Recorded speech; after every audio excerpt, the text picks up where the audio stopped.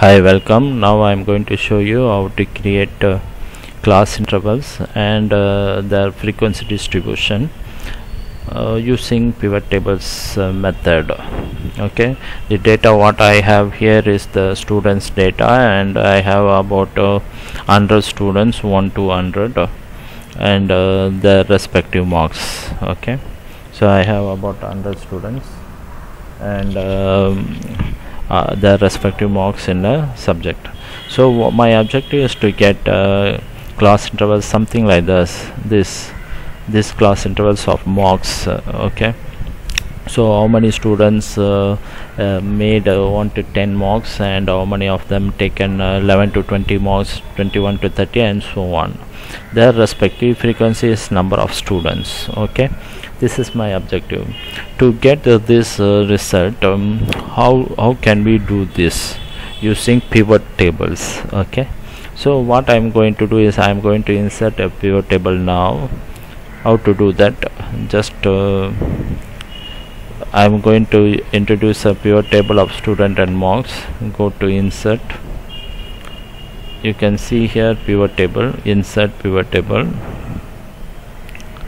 okay it will say okay this selected uh, uh, thing is uh, the range is the table or range of data which is selected.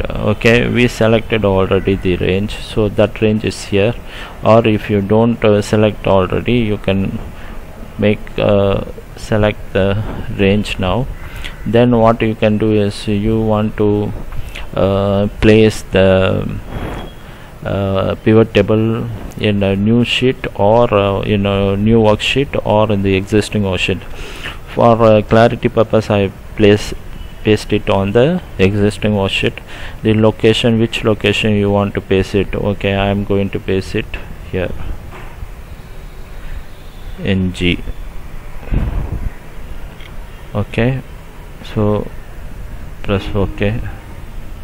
You see it inserts uh, pivot tables fields and uh, choose the fields to add the report. Okay you need to choose the fields and uh, select the filters and so on.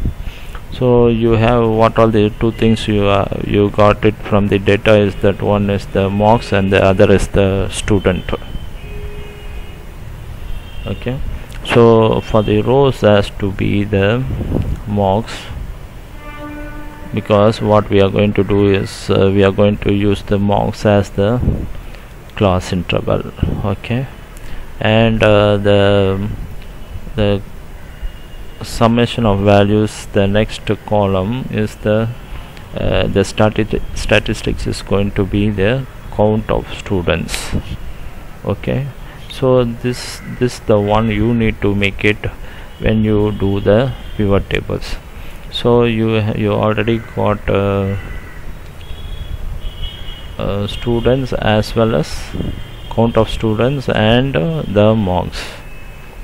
Okay so I just uh, these two. Okay after that uh, what you need to do is uh, you see here what is happened. Here is that it has given for each mark what is the number of students? How many students has taken for each mark?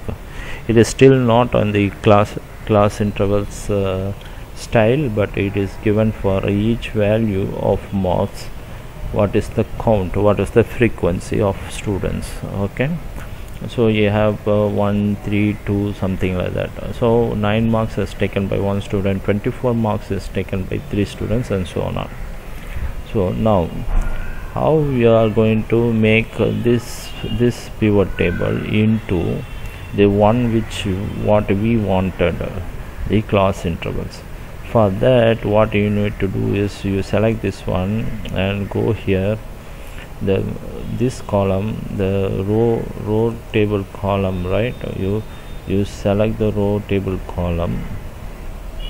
Okay the pivot table this row labels. Row labels is nothing but your marks. This is nothing but to your marks. Okay. So uh, what you are going to do is you are going to select the whole column and right click. You will have a group.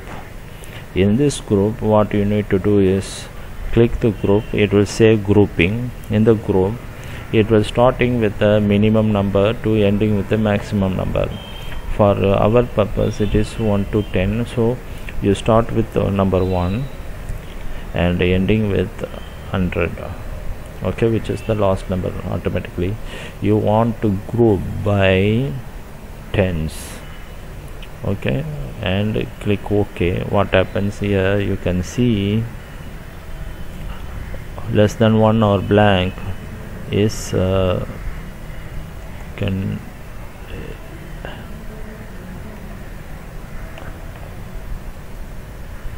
okay you you can see here is that 1 to 10 is the uh, one student and uh, 21 to 38 student 31 to 40 and 41 to 50 up to 91 to 100 okay this is our desired uh, uh, table the class interval table which we, wa we wanted to work on.